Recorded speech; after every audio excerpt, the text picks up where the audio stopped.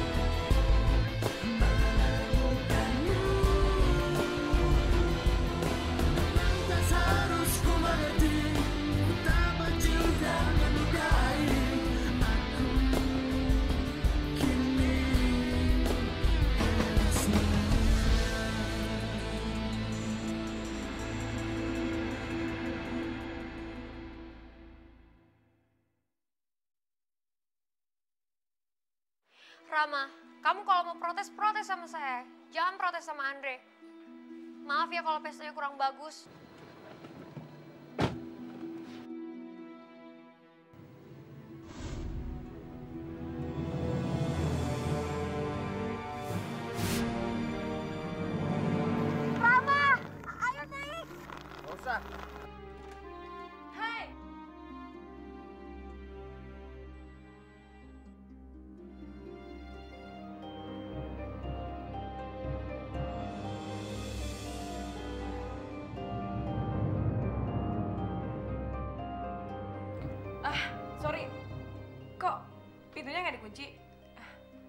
Lupa ya?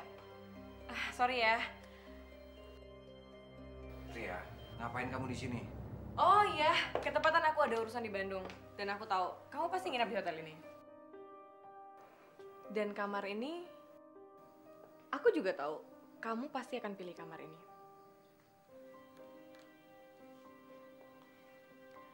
Karena dulu kita sering banget berdua di sini.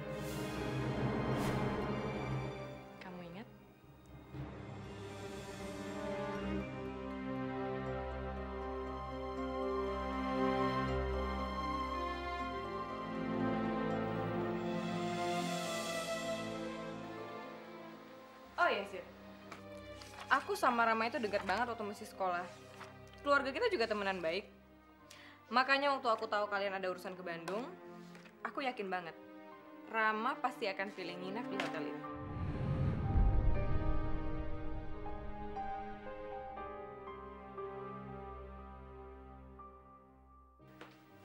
Kamu emangnya ada urusan apa ke Bandung? Ya biasalah, kamu kayak nggak tahu aja. Mama itu kan kalau ke mana-mana selalu pengennya aku yang nemenin. Kamu pasti belum sarapan. Kita sarapan dulu yuk. Eh, Sid, mendingan sekarang kamu beres-beresin barang-barangnya Rama, terus anterin ke mobil. Nanti selesai aku dan Rama sarapan, kalian bisa langsung berangkat, ya? Iya. Gak usah Sita, biar nanti aku yang beresin barang-barangku.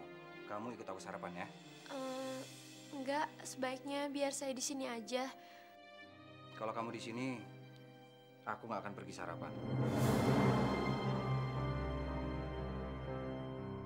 Kamu nggak keberatan kan?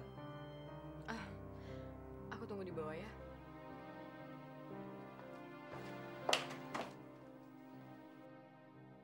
Oh iya, lain kali jangan lupa kunci pintu ya.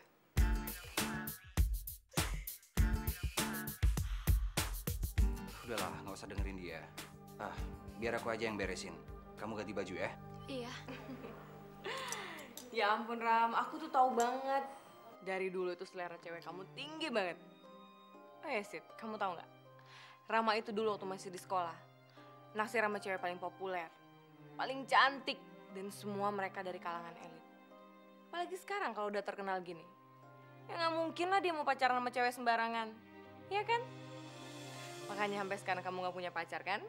Tria, Tria, kamu terlalu berlebihan. Bukannya dulu nggak ada yang naksir aku. Aku kan culun. Udah deh Ram, aku tuh tahu banget kamu dari dulu. Oh ya Sid, aku dengar-dengar kamu itu penggemarnya Rama ya?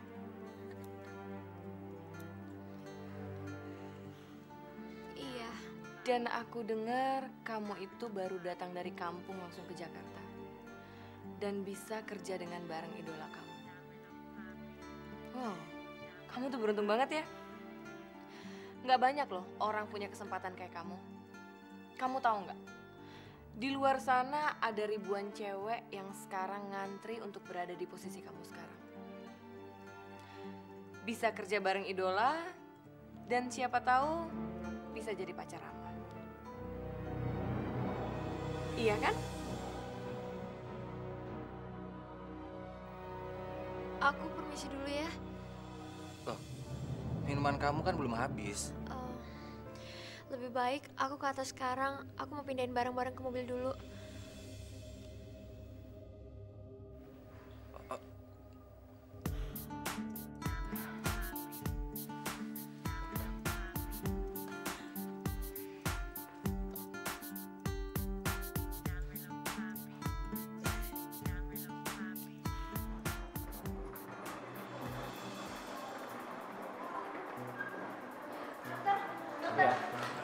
Dok, dok. Maaf, Gimana keadaan ibu saya, dok? Begini Mbak, saat ini kami masih belum bisa memberikan kesimpulan apa-apa. Cuma sepertinya kondisinya sudah membaik. Dia sudah jauh lebih baik sekarang. Dok, sebenarnya ibu saya itu sakit apa, dok? Kami masih menunggu hasil dari dokter spesialis. Tapi kami akan terus memantau perkembangannya. Oke? Kamu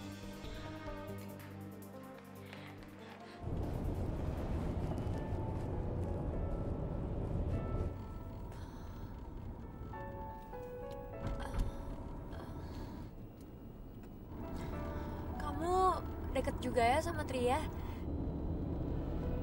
Dulu, waktu masih sekolah, Buktinya aja Tria tahu selera tipe cewek kamu. Cantik, populer, dan dari keluarga yang elit. terus kenapa? Enggak kok, nggak apa-apa. Cuma nanya aja.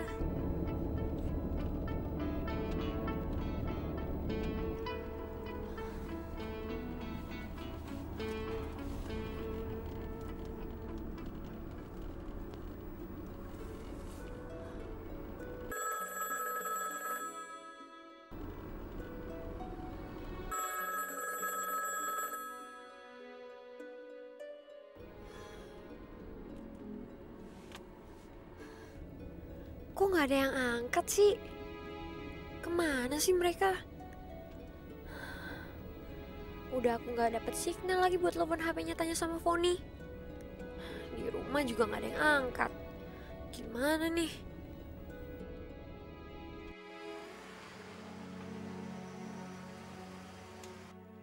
Terima kasih ya udah anterin aku.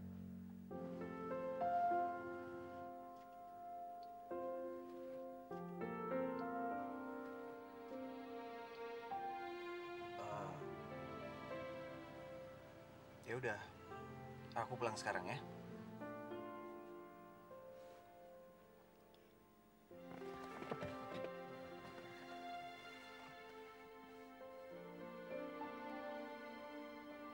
Terus, nggak ada yang kamu mau omongin lagi? Eh, ngomong apa? Aku pulang sekarang, oke? Oke.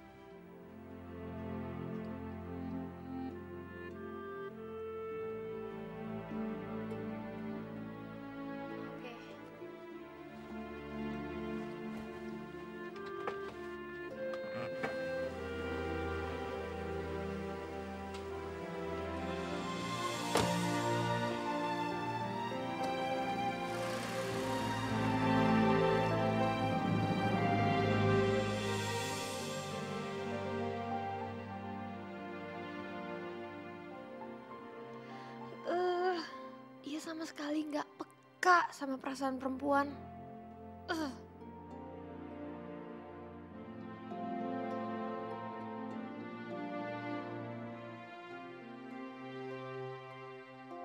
Ibu kalian terkena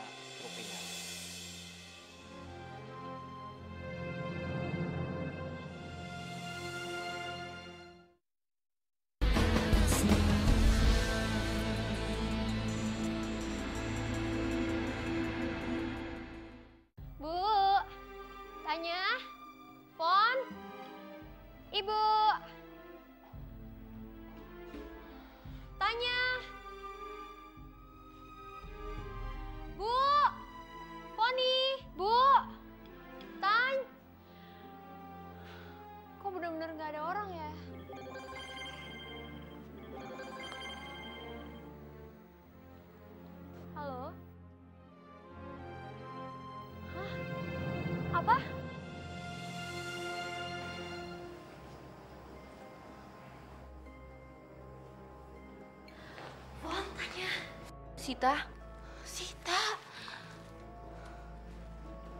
ya ampun. Kamu tuh ke mana aja sih, Sit? Maafin aku ya. Aduh, aku benar-benar terpaksa harus nginep di Bandung. Aku udah coba hubungin kalian, tapi aku nggak ada signal.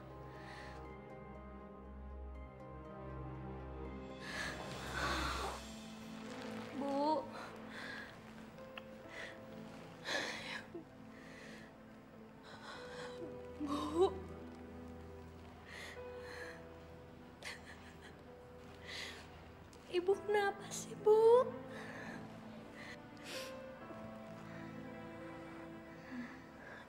Ibu, Bu.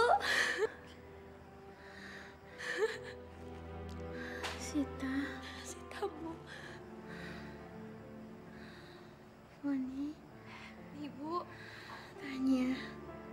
Kalian semua ada di sini. Iya, Bu.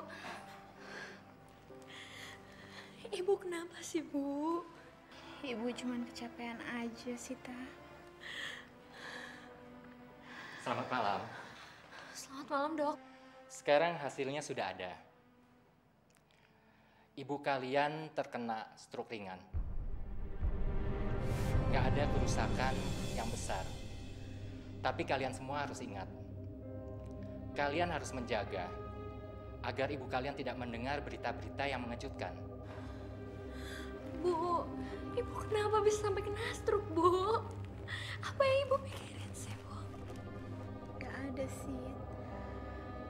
Mungkin ibu memang cuman kecapean aja. Terus, Dok, Ya, faktornya banyak. Bisa bermacam-macam. Dan ibu kalian besok sudah bisa pulang. Alhamdulillah. Terima kasih ya, Dok.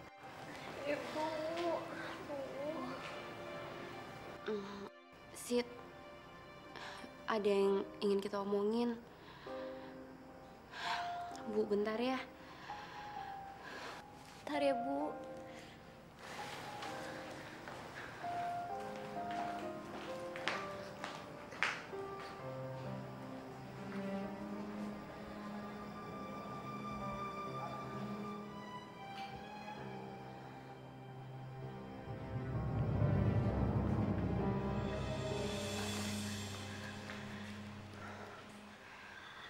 Apa sih?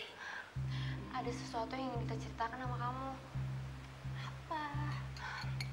Waktu kita nemuin ibu pingsan, di samping ibu itu ada amplop. Amplop? Iya, isinya uang. Banyak banget. Uang? Uang dari mana? Ya kita juga nggak tahu. Orang di amplopnya gak ada nama pengirimnya. Terus menurut kalian, uang itu ada hubungannya sama sakit ibu? Hmm, kita sih nggak tahu pasti. Kayaknya iya deh. Nggak mungkin kan ada yang naruh uang di samping ibu. Oh, makanya Sid, nanti kalau ibu udah agak-agak baikan, kamu tanyain ya sama ibu, kenapa dia bisa sampai pingsan, sama uang itu tuh dari siapa, ya? Iya. Oke, kalau gitu sekarang kalian pulang aja dulu. Biar gantian aku yang jaga ibu ya. Eh, tapi nggak apa-apa nih Sid. Gak apa-apa. Ya udah kita pamit dulu yuk. Ya udah yuk.